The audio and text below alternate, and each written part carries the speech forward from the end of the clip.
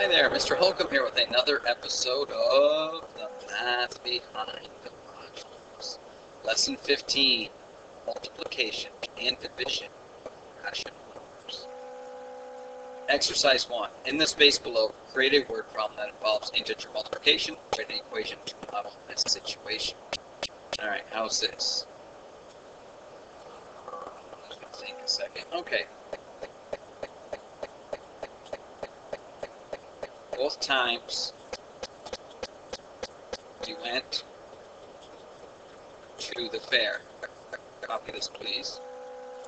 Both times we went to the fair, I borrowed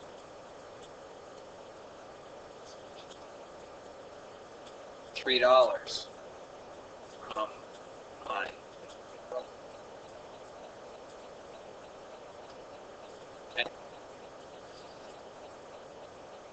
So, how would I represent that? I borrowed, so that's a negative $3. I borrowed two times. So now I owe my brother six bucks. Okay. Exercise two. Now change the word problem by replacing the integers with non-integer rational numbers. In other words, fractions or decimals.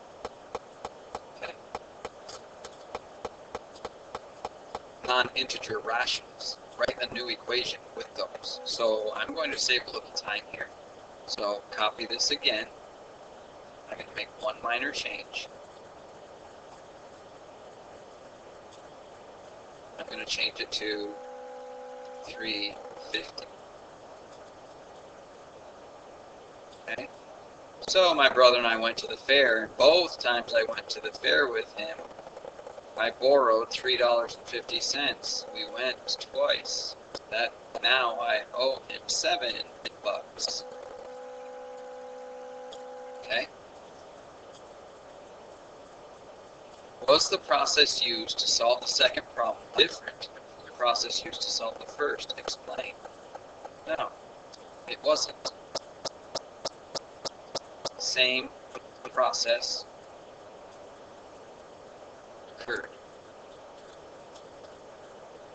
Remember that multiplication is a addition multiple times. So in the first example, I did negative 3 plus a negative 3 equals negative 6, which means negative 3 times 2. And the second one, I did a negative 350 plus a negative 350. And that equals a negative $7. Okay, so the process was the same. Alright, now the rules. It is really difficult for me to write with this pen, so let me go get the rules one second. Okay, so here's step one. Copy this down. Multiply the absolute values of the two rational numbers. Step one. Step two. If the two numbers or factors have the same sign, their product is positive. If the two numbers factors have the same sign, the product is positive pause the video and write that And step three, if the two numbers or factors have opposite signs, their product is negative. Okay, take a moment, pause that, and write that down. Okay, here's exercise two. In one year, Melinda's parents spent $2,640.90 on cable and internet. If they spend the same amount each month, what is the resulting monthly charge in the family's income? Okay, we want to know how much it cost them per month if that was their average price or their total price for the period of time. So we want to take that, it's a negative, right? They owe, so it's negative $2,640 and 90 cents. And we're going to divide that by how many months are in a year? That is 12. So when I do that, I am going to get long division. Here we go. 12. 2, 6, 4, 0, 0.90. 12 goes into 26. 2 times 12 times 2 is 24. Subtract. Hit a 2, bring down the 4. 2 times 12 is 24. Subtract. That is 0. Bring down a 0. 12 doesn't go into 0. I still have a 9 here. It doesn't go. Bring down the 0.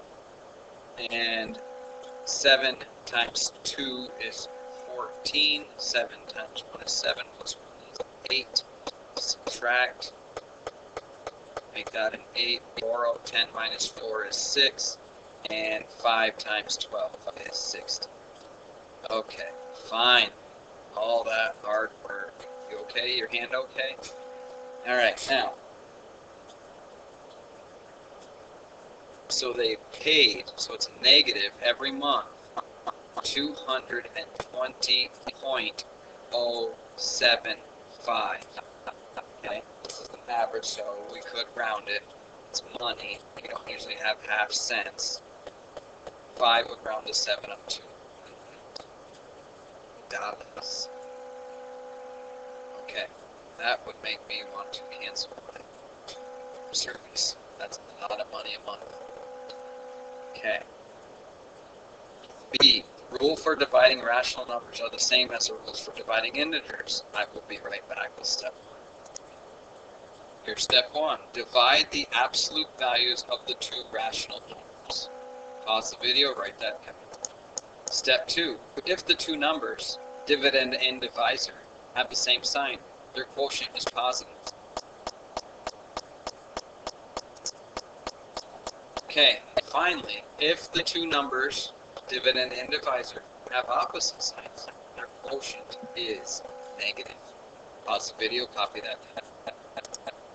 Okay, here's exercise three. So use the fundraiser chart to help answer the questions that follow. So we have these customers, five customers, types of plants, number of plants they're purchasing, price per plant, total, paid yes or no, doesn't really matter to us. Okay, so we need to calculate some blanks here.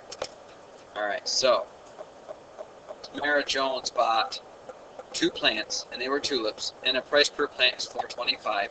So the total price would be 425 times 2 times 2.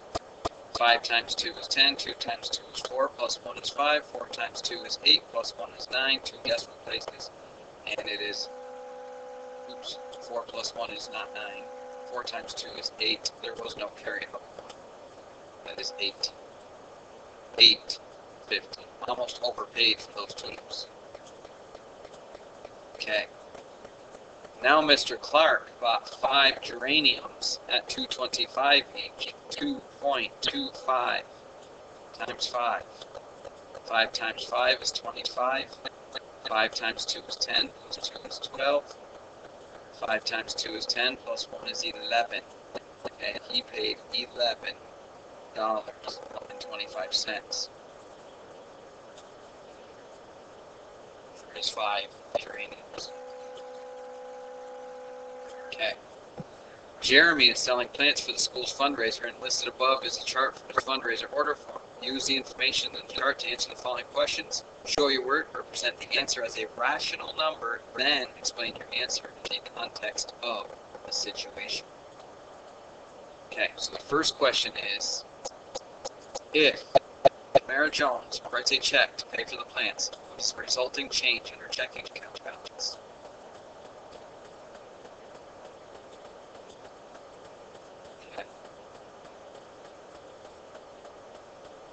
When they say change, they don't mean money, they mean how much did it change. So the answer was 850. So in the checkbook, though, the numerical answer is negative 4.25 times 2 equals negative 8.50 dollars. Okay, so the difference, the change in your checking account balance is a negative 850. Which means to deduct 850 from a balance. Deduct 850 from balance.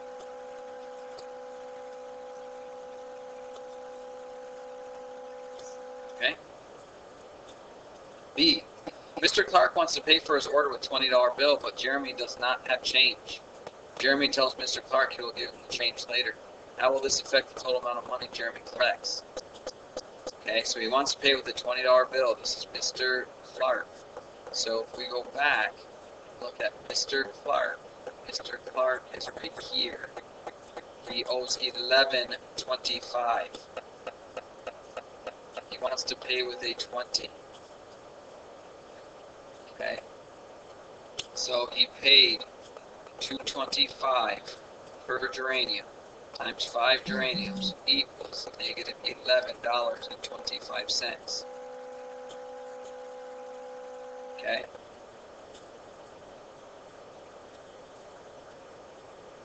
So if he gives him a twenty dollar bill and subtracts eleven point two five from that, two to one, ten, nine, ten, nine, ten, ten minus five is five, nine minus two is seven, nine minus one is eight he overpaid by eight dollars and seventy-five cents. So the adjustment Jeremy, needs to make is a negative eight seventy-five. Okay, so Jeremy will be over by eight seventy-five, and he'll need to make that change at a later time. C.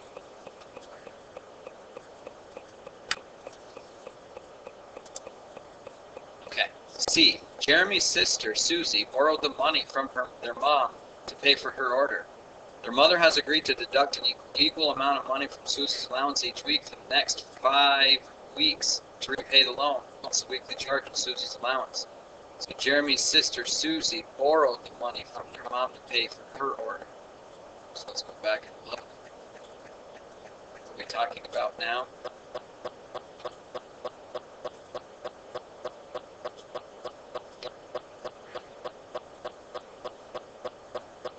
Susie, Jeremy's sister.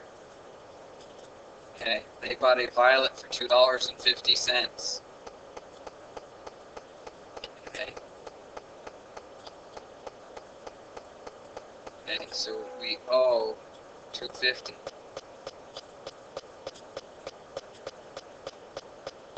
We want to divide two fifty by five. Five weeks of allowance. 5 won't go into 2, so I put a 0. 5 goes into 25. 5 times 5 times 5 is 25. Bring down the zeros, and 5 goes into 0, 0 times. So we have 50 cents. 50 cents per week. For the next week, 5 weeks. Okay? So Susie loses 50 cents of her allowance.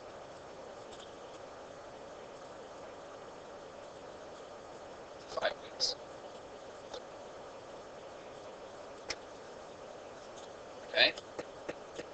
D. Jeremy's grandparents want to change their order.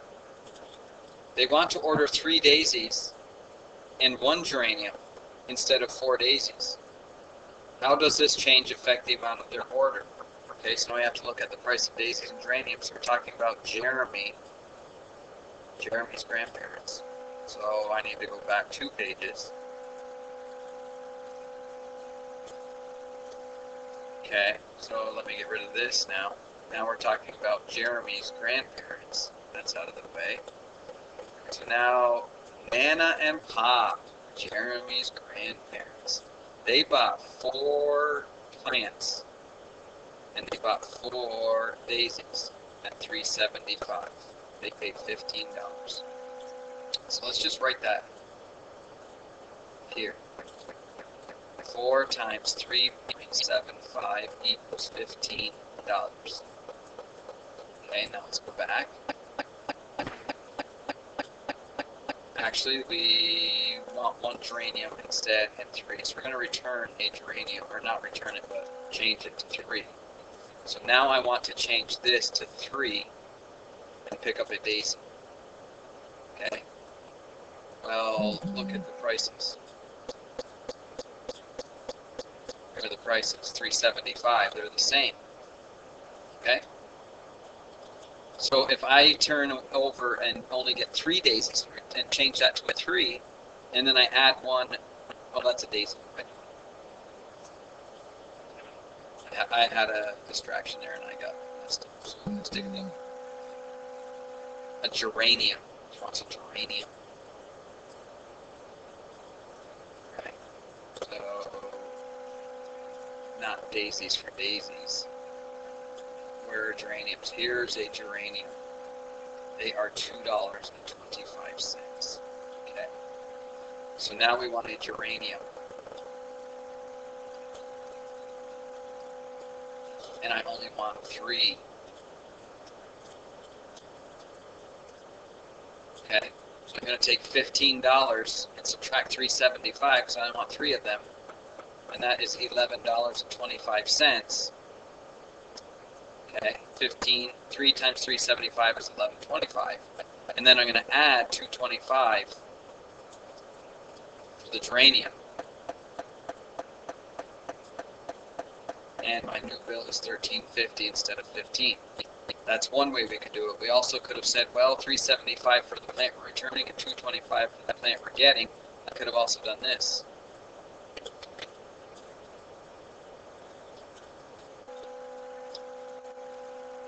I am saving a dollar fifty. Okay, so I could subtract a dollar fifty from that, and I would still get fifty cents. Alrighty. Jeremy's approached three people who do not want to buy any plants. However, they wish to donate some money for the fundraiser when Jeremy delivers the plants one week later. The people promise to donate a total of $14.40, what will be the average cash donation? Okay, three people. Average means divide. Fourteen dollars and forty cents divided by three. Give myself any work. So let's move this down.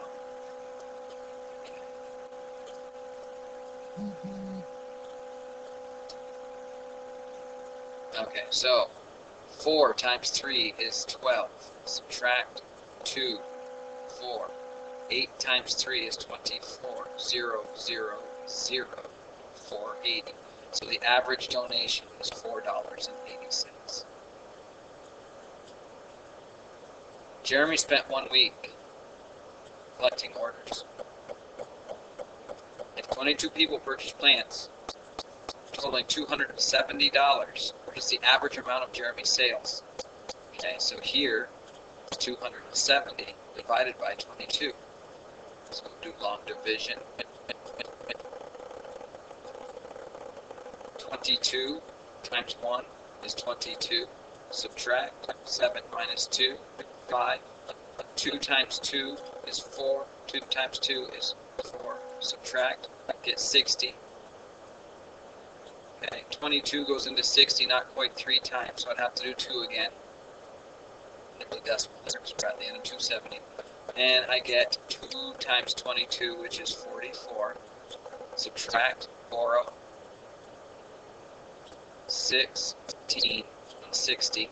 2 goes into 16 8 times, but I can't quite get there. 7 times 2 is 14. 7 times 2 is 14, plus 1 is 15. And I borrow, and I get 60. Uh, here we go. 60, I've seen that already. Okay, so the next number will be 2. And this is going to keep repeating. Okay, I'm going to get minus $44.60, and then it's going to be 272727 repeated. Alright, but we're talking about money here, so how far do we really have to go? Three decimal places, and then think about which direction.